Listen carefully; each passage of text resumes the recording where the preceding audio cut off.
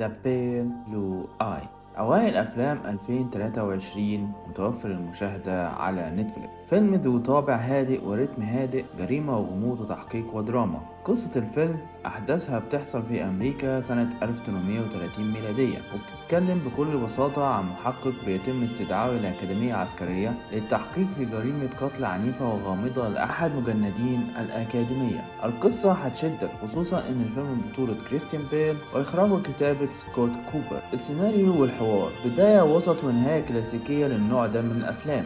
بداية الفيلم هتشدك بدأ بشكل كويس ومحمس ومليء بالغموض والسوداوية. وسرعان ما ندخل في وسط الفيلم لرتم هادئ جدا ومط وتطويل يوصل للملل ومشاهد كتيرة ملهاش لازمة. ونهاية صادمة ومش متوقعة للفيلم.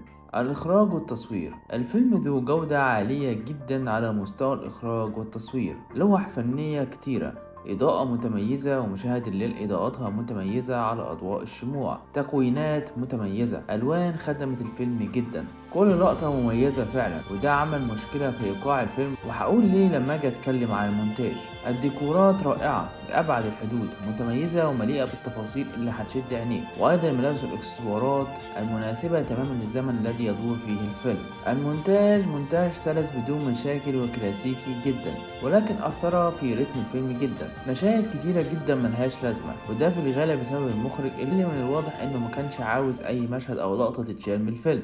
وحقيقة كل اللقطات لوح فنية بس مش لدرجة إنها تأثر على مستوى الفيلم وخصوصا الأفلام اللي من نفس النوع ده كتيرة جدا. كان من الممكن إن يتشال نص ساعة من الفيلم وهيكون تقييم ومستوى الفيلم أحسن من كده. الموسيقى متميزة بس مش جديدة. سمعناها قبل كده كتير. الممثلين جميعا أدوا اللي عليهم بالشكل المطلوب وواضح جدا توجيه المخرج والسيناريو ليهم جميعا بحرفية تامة. الفيلم جيد للمشاهدة وتقييمي للفيلم هو ستة من عشرة.